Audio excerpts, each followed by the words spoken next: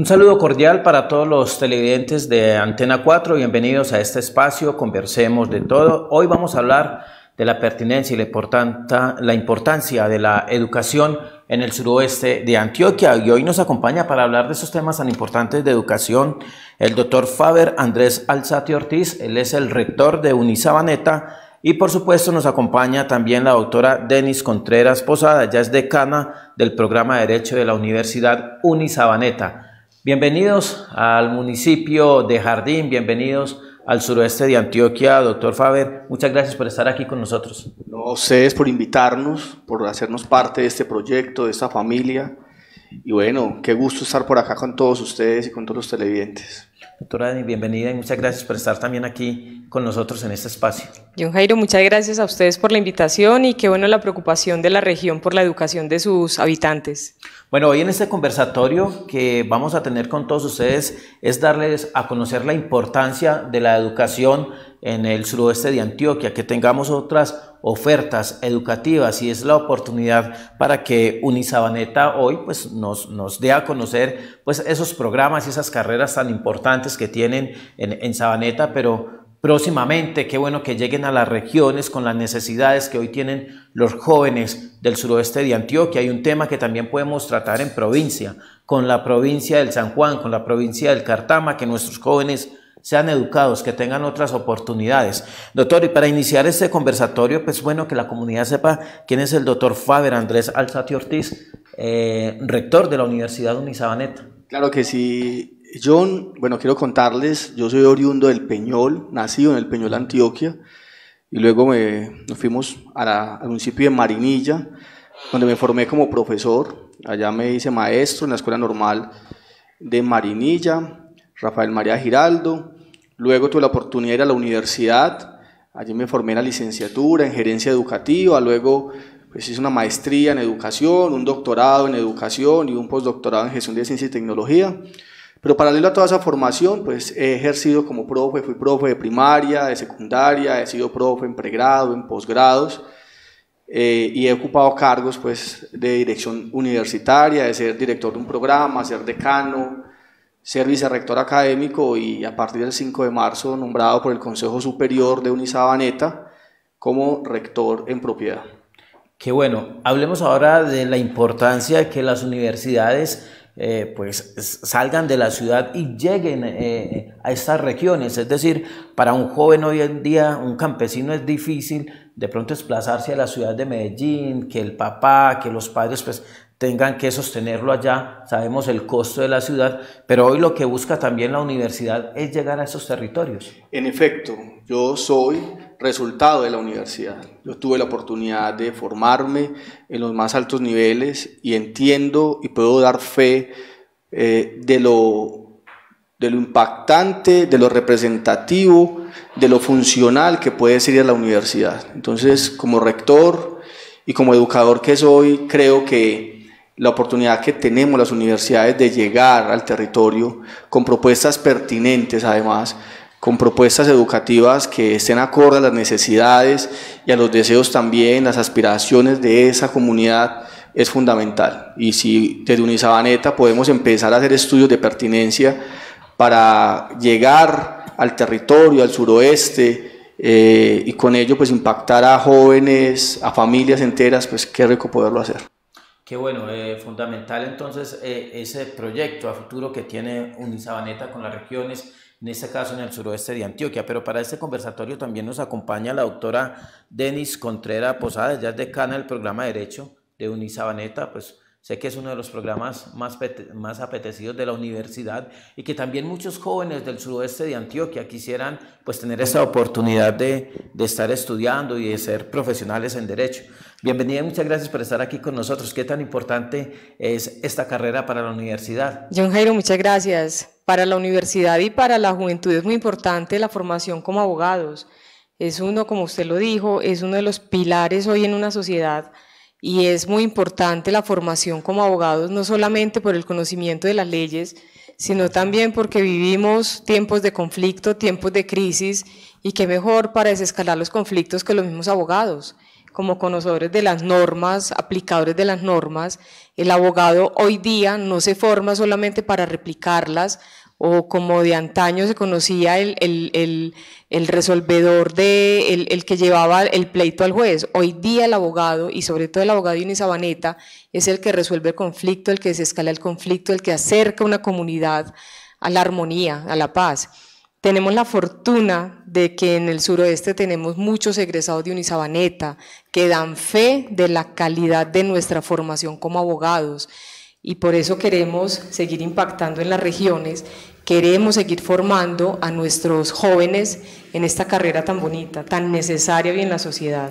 Esa era una de mis preguntas, ya no lo acaba de decir, hay egresados, hay ya profesionales en el suroeste, pero qué bueno que, que nuestra comunidad se entere dónde están esos profesionales, dónde están ejerciendo, si tiene conocimiento de algunos que ya están en lo público. Claro que sí, eh, tenemos conocimiento, hemos tenido egresados muy sobresalientes en el suroeste, eh, alcaldes, eh, exalcaldes actualmente, concejales, Actualmente, los más cercanos en tiempo, el actual secretario de Gobierno de Andes, la secretaria de Movilidad, egresada tanto de, pregrado como de posgrado, que esa es una de las fortalezas que tenemos en Unisabaneta. Tenemos un ciclo de formación postgradual, después del pregrado las especializaciones, muy atractiva para los egresados de nuestro pregrado, que continúa su ciclo de formación. Eh, tenemos eh, en la rama judicial, en los juzgados tenemos egresados, eh, de los más cercanos que tengo en este momento, en Jericó, muchísimos, muchísimos egresados en esta región, en la provincia de Cartama tenemos también muchos egresados, aquí en la provincia de San Juan. Mm, de los que se me ocurren en este momento, aquí cercanos, secretario de gobierno actualmente, con, quien, con quien estuvimos negociando algo muy bonito que seguramente me vas a preguntar al respecto, y es que no solamente queremos traer el programa de, derecho, queremos traer también muchos programas de la Corporación Universitaria de Unisabaneta, porque queremos impactar en la comunidad, queremos impactar en esas comunidades con la formación de los jóvenes en muchos otros programas, pero también en la proyección social con el consultorio jurídico. Claro, ese es un tema fundamental el cual nosotros vamos a tratar, señor rector, y es, la importancia que tiene el consultorio jurídico en las regiones. Por ejemplo, eh, en el municipio de Andes tenemos veredas muy distantes, inclusive el municipio de Jardín, donde muchos campesinos pueden tener algunas inquietudes, dificultades y problemas, digamos, de linderos, de alimentación, etcétera, que no tienen con qué pagar un profesional. Y, ustedes desde este consultorio jurídico pues le brindan la oportunidad a ese campesino de resolverle esa duda y esa inquietud totalmente gratis. Mire, yo he sido promotor a lo largo de mi vida y mi experiencia laboral de que el conocimiento tiene que permitirnos servir a la humanidad. Hay gente que sabe mucho y que es capaz de citar muchos libros y es capaz de citar páginas enteras de autores muy prominentes pero cuando hay que resolver un problema que tiene incidencia comunitaria, social o hasta personal, se bloquean. Y la decana y los demás decanos de la universidad me han escuchado decir permanentemente que los programas de la universidad no me sirven dentro de la universidad, me sirven fuera de la universidad. Y cuando estoy diciendo eso, les estoy diciendo es, hay que llevar nuestros programas a que sean capaces de ayudar a resolver problemas del entorno real. Y el consultorio hoy para nosotros es una propuesta de valor muy importante que va a permitir o que nos permite, perdón, llegar al territorio para acompañar, como usted lo acaba de decir, a ese ciudadano de a pie que no siempre tiene las condiciones económicas o intelectuales para, para, que le sea, para atender una situación de orden jurídico o legal.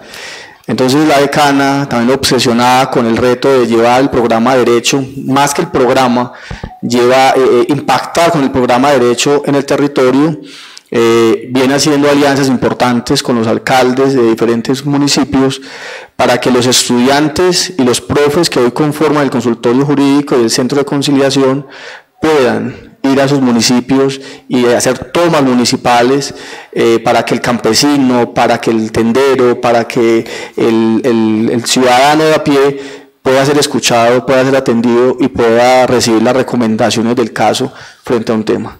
Y es una propuesta muy loable que yo valoro muchísimo porque, insisto, la universidad y la escuela en general, eso lo digo para cualquier directivo docente de educación básica, medio, superior, si sigue de espaldas a la realidad, va a entrar en una crisis seguramente muy compleja, porque hoy la educación tiene que ser capaz de servirle al mundo para resolver los problemas, las situaciones de crisis en las que permanentemente estamos.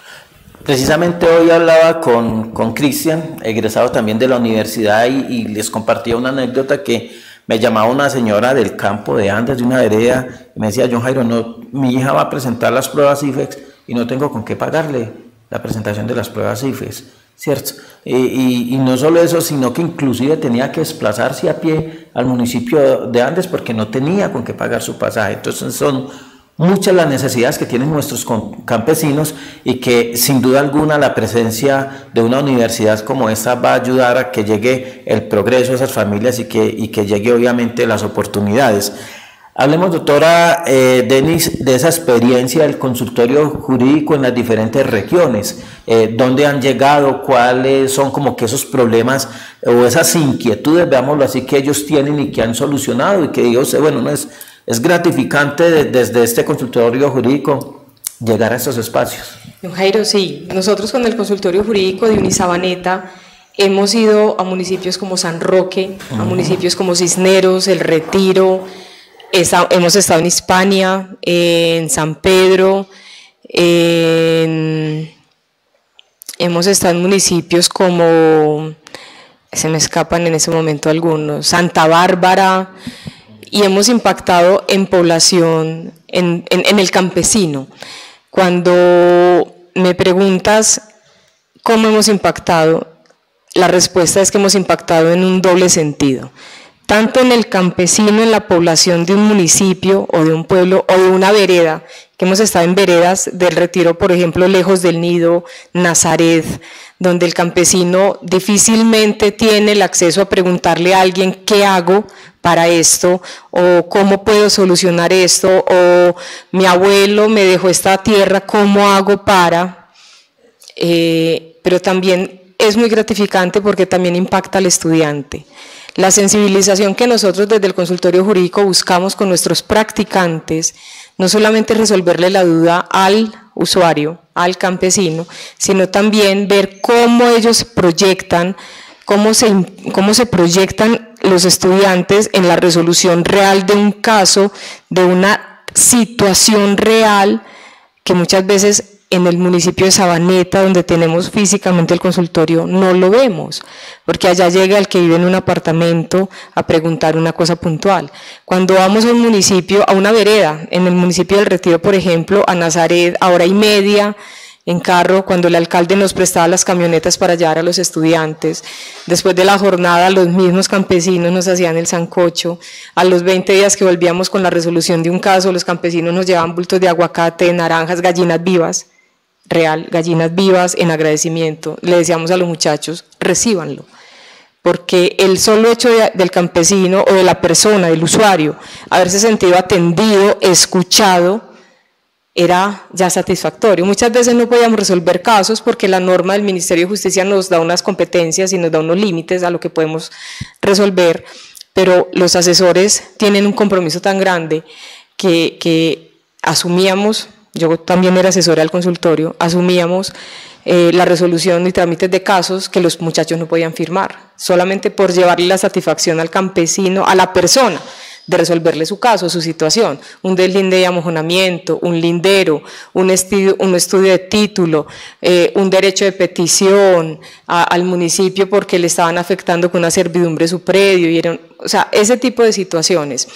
La satisfacción, me la preguntaste, ¿cuál es la satisfacción de llevar el consultorio jurídico? Servir a una comunidad con el apoyo de las alcaldías, servir realmente a una comunidad, Hoy día una persona de escasos recursos o de escasa formación deja pasar, acude al leseferismo, deja pasar una situación y pasa de generación en generación y sus derechos se vulneran por no preguntar. El consultorio jurídico permite que le pregunten y permite solucionar, resolver, ser escuchado es lo que hace. Y la sensibilización para nuestros practicantes, eso también es muy gratificante Yo quisiera, yo nadie aprovechar porque la decana ha tocado una fibra eh, que para mí es muy importante, como maestro que soy por vocación y por formación, pero también como líder educativo que soy. Miren, cuando el estudiante que está en la ciudad, donde tiene quizás toda su vida aparentemente resuelta, y donde él no sufre por el pasaje para ir a la universidad, o cuando ese estudiante no tiene problema porque pues tiene forma de pagarse un refrigerio, un desayuno o un almuerzo mientras está en la universidad. Lo llevamos al territorio y le, le decimos, bueno, usted, usted está estudiando qué? Derecho, pues también en el caso de administración, de contaduría pública, en el caso de negocios, bueno, o ingeniería. Y lo llevamos a la, a la ciudad, al territorio y le decimos, venga, con lo que usted sabe, pero no toco, con lo que usted sabe, vamos a entrar a, ayudar a, a esas personas. Y él se confronta con esa realidad y, tiene, tiene, tiene una doble confrontación. Primero, la intelectual. ¿Será que, ¿Será que sí sé? Y soy, soy, capaz de acompañar, de orientar, de explicar técnicamente de lo legal que que es un litigio, que es un lindero, cómo se hace una contabilidad, en el caso de los que estudian contabilidad pública. ¿Será que sí sé? La primera confrontación profesional. Pero la segunda, que para mí es muy importante, la personal, y que pasa por la condición humana. Y cuando dice la decana es que es llegar al campesino, y no solo después, sino cuando llega con la necesidad diciendo, me acabo de bajar del carro, o vengo eh, porque acabo de dejar a un lado el, machete o, el, el, asadón, pero vengo a confío en usted, vengo a que me dé una asesoría. Luego cuando llega el campeón le dice muchas gracias, vea, ya entendí lo que no había logrado entender frente a eso, y si además le da un aguacate o si le da un abrazo, esa confrontación humana es muy importante. Hoy la educación, siempre lo hemos dicho, pero en la teoría suena muy lindo, en la práctica eso lo que estamos tratando de hacer es que la educación tiene que transformar al ser humano. Puede saber mucho, y hay médicos y hay abogados, en este caso, y hay contadores que con lo que saben no lo hacen bien, pero hay algunos que con lo que saben hacen maravillas. Entonces, por eso es el reto. El reto, y perdón que me haya, haya metido la, la, cucharada, como decimos en mi pueblo, pero como sé que me están viendo muchas personas, tengo que decirles, vamos a la universidad, pero para transformar nuestra vida. Y cuando transformamos nuestra vida, vamos a transformar la vida de otros. Y si no, aprende más por YouTube y se aprende más eh, buscando en ChatGPT el contenido. Pero la universidad es para transformar nuestra vida para confrontarnos también y transformar la vida de los demás. lo que acaba de decir el rector, doctor, es muy importante porque de ahí me surge una pregunta y es que hay estudiantes que han quedado marcados de pronto con esa historia y en esas visitas en esos consultorios, no lo decía el rector ahorita, lo más importante es yo ver la realidad del campesino, de que baja con sus manos acabadas de, de, salir del, del trabajo a contarles una historia o una inquietud y han quedado de pronto algunos marcados con eso que se encuentra ahí en el campo. John Jairo, sí, mira que robándome las palabras de mi rector, los libros tienen teorías y tienen historias plasmadas, narradas por otros, pero lo diferente es cuando nuestros practicantes aplican eso que el docente les contó, su historia, su versión, su teoría, cuando llegan al consultorio cuando escuchan la historia real, cuando ven a la persona, cuando sienten su historia y cuando ellos son parte de la ayuda que necesita esa persona, se comprometen con esa persona en cualquier situación, una situación de familia, unos alimentos para un padre, para un hijo, para un hermano, para un abuelo, en la casa, la libertad, porque nosotros también atendemos casos de, representación de víctimas, eh, casos de subrogados penales, eh, casos fiscales de la Contraloría, eh, casos de laborales, muchos casos, eh, el estudiante queda marcado. Y uno los ve en los pasillos después cuando le cuentan a uno, profe, ¿cómo te parece, profe? La señora me llamó, profe, esto. Y ellos hacen incluso una introspección. Posterior a esas visitas en los municipios, nosotros hacemos una retroalimentación con la directora del consultorio y la hacemos en común. Y los estudiantes narran desde lo jurídico, desde lo práctico y desde su ser. Y es lo que nosotros pretendemos, porque nosotros no solamente formamos en el hacer, sino que también formamos en el ser. Y hoy día es muy necesario y eso es lo que nos ha caracterizado como abogados de Unisabaneta, el ser. El abogado de Unisabaneta se caracteriza por eso y yo creo que ha sido el éxito de nuestros egresados, porque son más del ser en el hacer. Los funcionarios públicos que hay en el suroeste, egresados de Unisabaneta, tienen esa sensibilidad y esa sensibilización hacia lo humano y saben que es el servir lo que justifica lo que han hecho hasta el día de hoy. Es el servir, es el don de, hacer y de hacer. Lamentablemente la pandemia nos castigó mucho con estas salidas y muchas prácticas no, no, las pudimos hacer. Por eso estamos retomándolas, porque queremos que nuestros estudiantes vivan lo que hay que vivir, ¿cierto? Eh, ahora me preguntas si voy a hilarlo con esto para no extenderme en la palabra, porque me pones a hablar de un tema que para mí es es lo más bonito que tenemos que mostrar y me apasiona demasiado porque como docente que soy de derecho, yo era la que, la que más me gozaba las salidas con los estudiantes. Cuando un practicante llega al consultorio jurídico, no solamente va a replicar lo que aprendió, va a interactuar con el sector externo, va a interactuar con, con la calle, pero aparte de eso, va a resolver, aparte de eso, va a alimentarse el mismo el rector dijo algo muy importante, el cuestionamiento que se hace sobre ¿seré capaz? Que aprendí, pero va a resolver y va a solucionar. Ese usuario que se va con una respuesta, sea positiva su caso, sea negativa su caso, se fue atendido y se fue ya tranquilo. Ya no, ya, ya, ya se va con el referente de que el abogado, el doctor, así sea un practicante porque los tratan así, doctor, gracias, ya lo atendió. Y esa satisfacción del estudiante de haber, de haber atendido a ese señor o a esa señora, no se la va a quitar nadie en la vida. Como les digo yo a los muchachos, sus primeros casos son esos. Suficiente.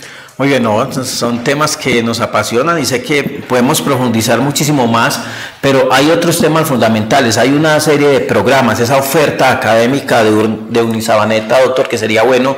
Pues hemos hablado mucho de derecho, hemos eh, profundizado en, la importancia de la educación en las regiones, pero qué bueno contarle pues a todos nuestros televidentes a esta hora y a aquellos que nos escuchan por los medios digitales, eh, esa oferta educativa que tiene la universidad y que posteriormente se puede traer a esta región del, suroeste? Bueno, esa pregunta me va muy al corazón porque sin duda represento esa universidad, esta bella universidad. La universidad tiene tres facultades. La Facultad de Derecho, Ciencias Sociales Humanas, que está liderada por la decana Denis. La Facultad de Negocios y Ciencias Empresariales. Y la Facultad de Ingeniería y Aeronáutica.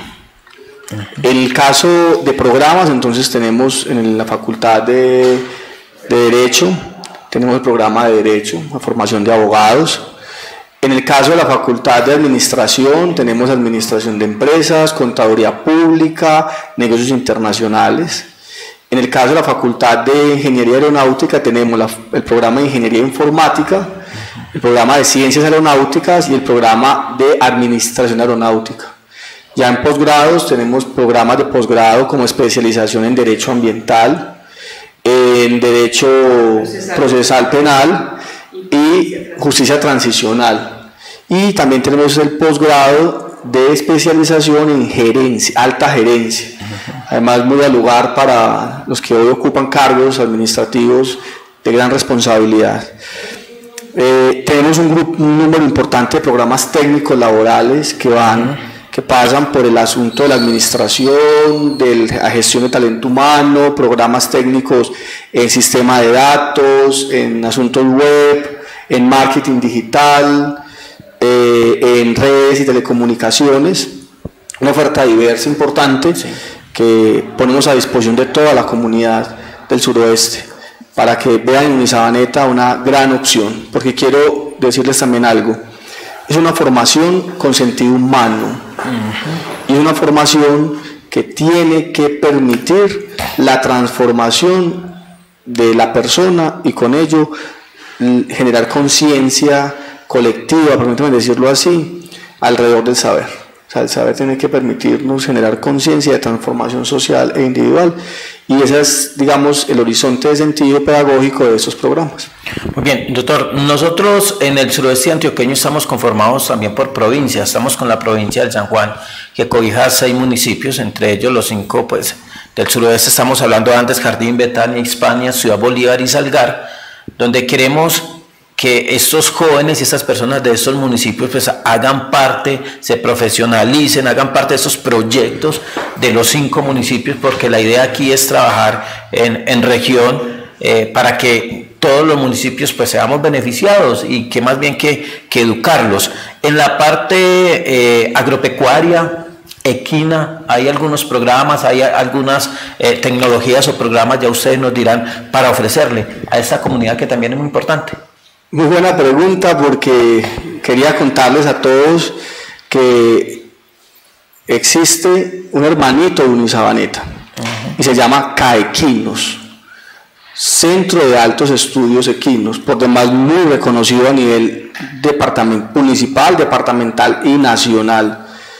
Eh, y este, esta corporación desarrolla todos los programas que están relacionados con el campo del campo, pues, con el área del campo, con el tema agrícola, con el tema ganadero, con el tema equino, ¿sí? Entonces, también los invito para que en redes sociales no solo busquen a Unisabaneta, sino también que busquen a Caequinos, a todos los que les interese, por ejemplo, los asuntos relacionados con los caballos, todo el tema del campo, de la, del cultivo, todo relacionado con lo ganadero en Caequinos van a encontrar una oferta muy interesante que además eh, mm, tiene muchísimo peso en el medio porque tengo que decirlo con mucho orgullo.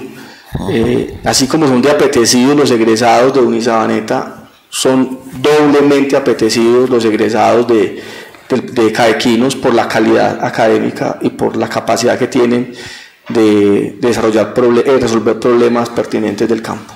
Bueno, ya finalmente para que vamos como que concluyendo este, este conversatorio tan importante, pues obviamente quedan abiertas las puertas para cuando quieran volver al suroeste, al municipio de Jardín.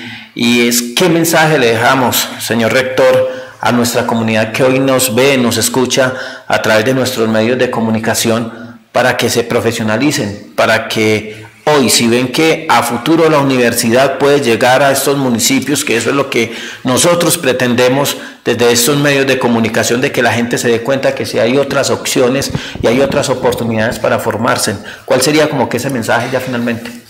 Yo, yo voy a dar el mensaje, pero a tres, en tres niveles. ¿sí? Claro. El primero es para los jóvenes, decirles que que no hay limitaciones, que yo soy del pueblo, que soy de la vereda, que yo soy de, del morro de, más allá donde solo llega la luz del sol, no, no hay limitaciones. Créanse el cuento de que es posible, de que hay una oportunidad en la vida, y en este caso a través de la educación y es la universidad. Sueñen con ir a la universidad, sueñen con estar en Unisabaneta y en Caequinos, ya que lo mencioné, y desen la oportunidad de cumplir esos sueños. No, es que mi papá no estudió, no, es que mi abuelo no estudió. No, la historia de ellos va a ser, fue y será diferente a la suya. Usted sí puede hacerlo y puede ser el primer profesional de su casa. Jóvenes, anímense, yo soy de un pueblo, sé las limitaciones que puede tener uno, pero nunca me creé las limitaciones y hoy estoy acá hablándoles a ustedes a decirles que sí se puede. Lo segundo, a las familias, papás, mamás, yo crecí escuchando a mi papá decirme toda la vida que no, no esperara riqueza material, que si me dejaba algo, bueno, pero que no esperara riqueza material, que me iba a dar educación. Y que con eso conseguiría toda la riqueza material que yo quisiera. Y en efecto, creo que papás apoyan a sus hijos.